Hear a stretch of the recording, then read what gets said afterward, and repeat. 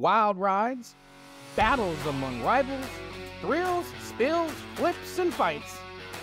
This is Bobby Chacker, and these are the top 10 moments from the 2023 racing season as seen on Race on Texas. And the race is on, ladies and gentlemen. After getting arrested for street racing, Randy Seals challenged Houston Police Officers Union to a friendly competition at 105 Speedway using Crown Vics.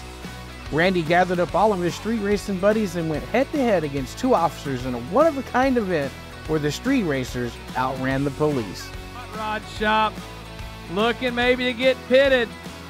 Sergeant and Blaze trying to track down the Seals Hot Rod machine. And there it goes, pit maneuver on Randy Seals. Cotton Bowl Speedway, Sport Mod feature. Right in the middle of the Sport Mod feature, a couple of drivers decided to do a little impromptu Cotton Eye Joe in the infield. Racing there by Heath Stewart, finding those openings and gaps to work his way through.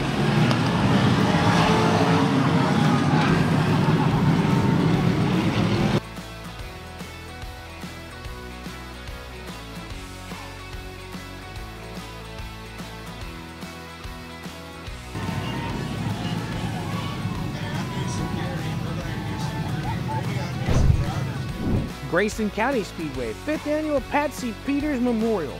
After contact in turns 3 and 4, fenders and fists go flying.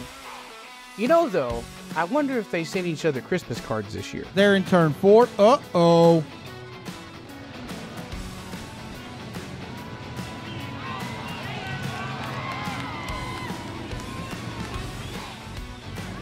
Well, maybe he was trying to help him fix his helmet. Devil's Bowl Speedway, 305 heat race. Tucker Dowdy, coming to the green flag. Nailed it. Oh, we got one upside down already. like the left front tire. Tucker is doing the replay here for me. So uh, we'll see here. It looked like the left front tire just kind of turned in there. Let's see here. Oh, it did. It turned in went flat, and, and Russell Shoulders ran. Driver is okay. Everything's good for Tucker. That car 105 Speedway, 305 Sprint Heat Race.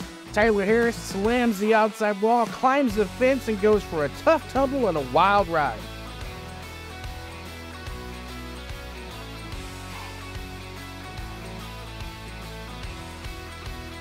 Man, look at that replay. That's gotta hurt. Those crazy sprint car drivers.